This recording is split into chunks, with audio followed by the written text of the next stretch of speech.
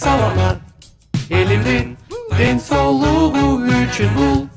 Sallanan Salamat Kulüp Elimdin din soluğu için Din soluğu için салам достор биздин сүйүктүү угармандарыбызга көрөрмандарыбызга салам. Саламат тайм деп аталган он мүнөттүк подкаст башталды. Бүгүнкү теманын алкагында сиздер менен эрте жыныстык катнашка баруунун кандай кесепеттери бар? Мына ушул тууралуу сөз кылабыз.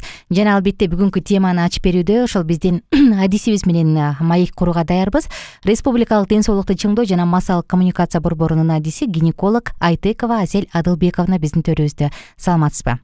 Саламатсыздарбы урматтуу көрүүчүлөр жана угуучулар? Сиз менен кайрадан амандашканыбызга кубанычтабыз асель эже ошол бүгүн сиз эрте жыныстык катнашка баргандын кандай кесепеттери бар? Ушул тууралуу гинеколог адис катары бизге сонун маалыматтарды айтып берет деп ишенебиз. Анда алгач эле негизи жыныстык катнашка баруу үчүн канча жаштан баштап уруксат берилет? Ушул тууралуу бир аз айта кетсеңиз. Кыргызстандын мыйзамдарына ылайык он сегиз жаштан жогору ар бир адам өзүнүн кадамдарына жооп бере алат. Ошон үчүн он сегиз жаштан баштап жыныстык катнашка барса болот десек болот. Бирок ошонун баарын э, эстен чыгарбаш керекпиз он сегиз жашта психологиялык жактан да өнүгүп өсүүсү жагы боюнча дагы ар бир бала жетилген кезек болбойт. Анткени бул жашка бул жашта жаңы эле мектепти бүткөн учур болот да эрте жыныстык катнашка барган учурда көбүнчө ушу жаштар көп кыйынчылыктарда алдыңкы жашоосунда кездешет. Бул эми биринчиден кандайдыр бир гормондордун таасиринин негизинде жаштар ушу алдында баары сонун көрүнүп э жолдордун баары ачык көрүнүп ушундай пландарды түзүп э, үй бүлө курганга аракет жасашат. Бирок билесиздер жыныстык катнашка баргандан кийин бул сөзсүз эле үй бүлө куруудан кийин сөзсүз бала күтүү болуп калат. Бул учурда организм ушул жаш келиндердин дагы өзгөрүүлөрү дагы толук кандуу бүтө элек десек болот да. Ошон үчүн бул коштолушу мүмкүн эрте бойдон түшүп калышы аз салмак бала төрөлүшү андан тышкары бул психикалык жактан дагы кандайдыр бир оорчулук болушу мүмкүн жаш үй бүлөгө. Анткени булар мисалы жогорку окуу жайын бүтпөгөнгө байланыштуу алдыда жакшы маяна төлөнгөн жумуш таппай калышы мүмкүн. Андан тышкары мисалы төрөгөн э, келин бул балага байланып үйдө отуруш керек болот. Ошон үчүн жалгыз өзүн эмес мисалы баланы да багыш керек болот. Ал баланы мисалы бала бакчага апарыш керек э, ага да төлөш керек. Ошонун баары анан кийин үй бүлөдө чыр чатакап келиши мүмкүн. Үй бүлөлөр урап кетет. Эркектер көбүнчө чыдабайт мындай кыйынчылыктарга анан кийин тыштап ошо менен мындайча айтканда үй бүлө бузулуп анан кийин ар бир адамдын ушу турмушу да бузулган учурлар көп кездешет. Ошондуктан мисалы мыйзам он сегиз жаштан кийин бул нерсеге уруксат берсе дагы бирок адам башка жагынан да жетилгенин эске алыш керек э материалдык социалдык баардык жагынан. Анда эрте жыныстык катнашка барганда кандай кесепеттер болот? Мисалы он сегиз жашка чейин дейли кыз балада кандай кыйынчылыктар жаралышы мүмкүн биз айтып кеттик э мынакей буга чейин физиологиялык жактан жыныстык органдар толук өзгөрүүлөрү болуп бүтө элек депчи ошон үчүн бул бир гана кыз баладабы же эркектерде делеби? Эркек балдарда деле десек болот. Анткени бул узакка созулуучу процесс десек болот. Ошон үчүн эске алыш керекпиз. Дагы күтө туруп анан кийин могу психологиялык жактан дагы. Психикалык жактан ушу өзгөрүүлөр ар бир өзүнүн кадамына жооп бере турган ошонун баары дагы э, өзгөрүүлөр болуп бүтө элек десек болот. Физикалык жактан эң эле сонун көрүнүшү мүмкүн. Бою бою бийик туурабы э? э булчумдары өскөн үнү өзгөргөн э? Жигиттер э, суңкайган сонун кыздар болуп э?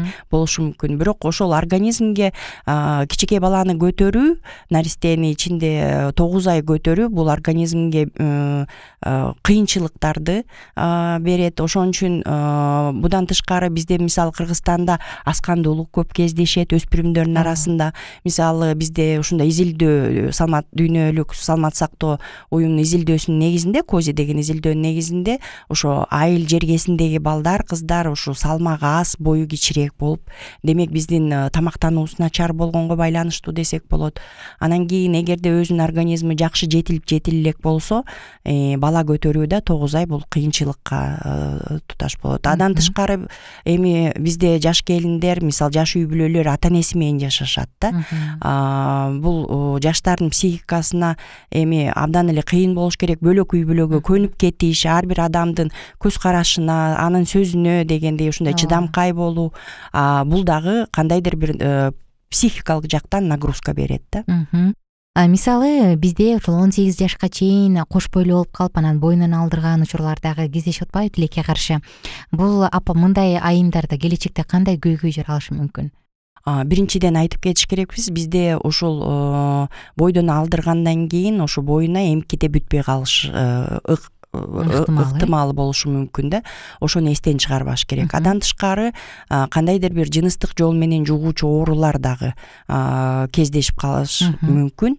Аны да эстен чыгарбаш керек. Эгерде ошондой кандайдыр бир инфекциялар жукса бул сезгенүүгө алып келет жыныстык органдарын болочок бир нече жылдан кийин ушу бала боло албай калышына дагы ыктымал да. Негизи эле ушул бойдон алдырып коюу же болбосо кош бойлуулук түзүп коюу дагы кандай коркунучтарды жаратат дагы бул эми биринчиден депрессияга алып келет. Анткени мындай учурларда жаштар э, өспүрүм кыздар десек болот э булар ким менен бөлүшөрүн билишпейт көбүнчө. Бизде ушу өспүрүмдөргө жардам бере турган адистер дагы жок. Уялуу сезими дагы бар. Э, кандайдыр бир туура эмес жолго барып койдумбу деген дагы сезимдер болот да. Ошон үчүн каяка кайрылаарын билбей мүмкүн криминалдык жака дагы кайрылышы мүмкүн криминалдык аборттор да кездешет бүгүнкү күндө. Ошон үчүн кандайдыр бир тияктан бияктан уктум э, деп туруп адистерге кайрылбай ошо кайрылган учурлар болот. Андан тышкары мисалы өзүн өзү ошо кош бойлуулугун токтотконго дагы аракет жасап дары дармектерди ичкен учурлар дагы кездешет. Ошонун баарын эстен чыгарбаш керек. Ошон үчүн сактануу жолдору жөнүндө дагы ушу биздин өспүрүмдөр билсе абдан жакшы болмок анткени сүйүү бири бирин мындай сыйлоо бул сезимдер абдан жакшы. Бирок алдыда алдыда кандай жашоо күтүп атат э? Жаңы биринчи кадам басып атканда ушу турмушка э? Жаңы турмушка жаңы кадам басып атканда ошондо дагы мындай жоопкерчиликтүү иштерди жасаш керек.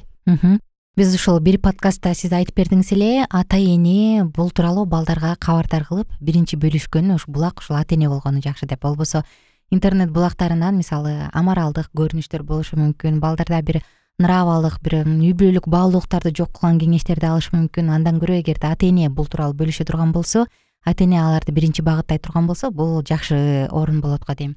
Андан тышкары кандай гана кадамга барбасын адамдын артында сөзсүз түрдө жоопкерчилик бар экендигин унутпаса эгерде ошол бала дагы кыз дагы э анда бул мен болочокто бир үй бүлөнүн жоопкерчиликтүү энесимин бир үй бүлөнүн жоопкерчиликтүү атасы болушум керек деген нерсе болсо анда туура үй бүлөлөр бактылуу үй бүлөлөр курулат деп ойлойм.